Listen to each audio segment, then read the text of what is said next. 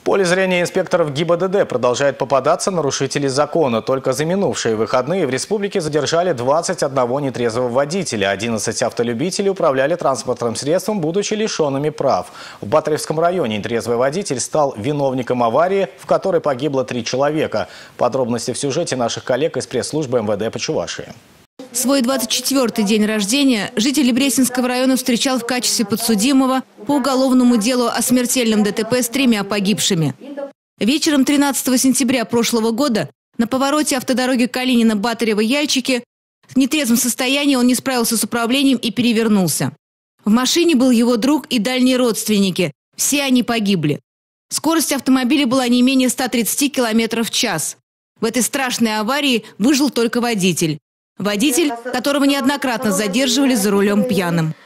В январе наш подсудимый был уже осужден и Брестинским мировым судьем за административное правонарушение, за то, что сел в нетрезвом состоянии за руль автомобиля.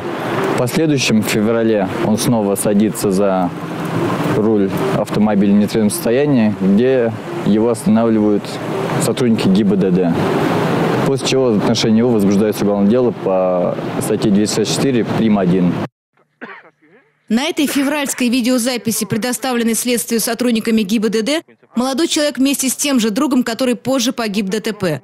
Оба в состоянии алкогольного опьянения пытались скрыться от экипажа, а потом свалить вину друг на друга. Это было второе предупреждение судьбы, к которому сельчанин тоже не прислушался. А на третий раз произошла авария с тремя погибшими.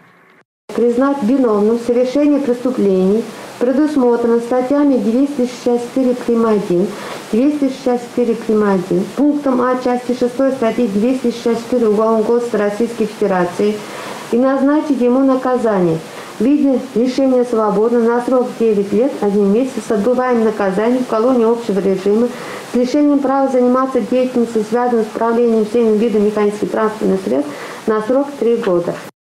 В качестве компенсации пострадавшей стороне местному жителю предстоит выплатить полтора миллиона рублей. Подсудимый был взят под стражу в зале суда. Родственники погибших, проходя мимо, осыпали его проклятиями. Приговор еще не вступил в законную силу.